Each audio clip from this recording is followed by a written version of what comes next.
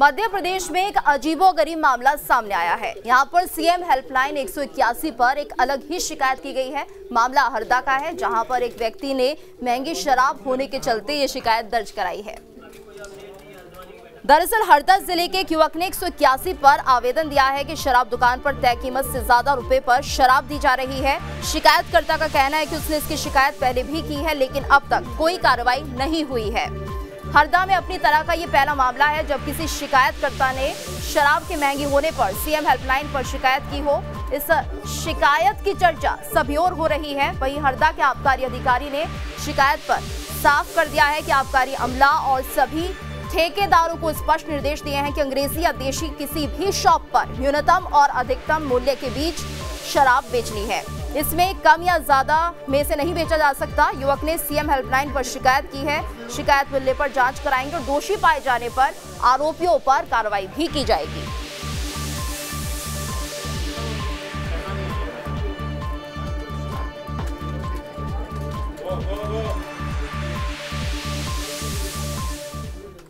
और खरगोन से एक बड़ी खबर यहाँ पर मानवता को शर्मसार करने वाला एक ऐसा मामला सामने आया जिससे कि इंसानियत शर्मसार हो जाए। दो दिन की मासूम बच्ची यहाँ पर नदी किनारे पड़ी हुई मिली और ये नवजात तड़प रही थी। लावारिस हालत में इस नवजात के मिलने से इलाके में औलाद पाने की चाहत में मंदिरों से लेकर दरगाहों तक की चौखट पर दुआएँ मांगते रहते हैं। लेकिन कुछ लोग ऐसे भी हैं जो औलाद से महज इसलिए पीछा छुड़ाने का पाप कर बैठते हैं क्योंकि उन्हें बेटी नहीं, बेटे की चाहत होती है। ऐसा ही एक मामला सामने आया है खरगोन ज़िले के खामखेड़ा इलाके से, जहाँ सड़क किनारे दो दिन की नवजात लाडली तड़पते हुए मिली। उसे बेटी होने की सजा मिली है।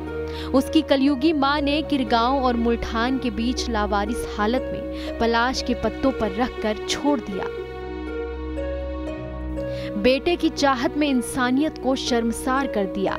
मासूम के रोने की आवाज़ सुनकर इसकी सूचना प्रशासन को दी गई। राहगीरों की सूचना पर मौके पर पहुँची पुलिस ने मुल्ठान स्वास्थ्य विभाग के सहयोग प्राथमिक उपचार के बाद जिला अस्पताल के एनआईसीयू वार्ड में भर्ती कराया।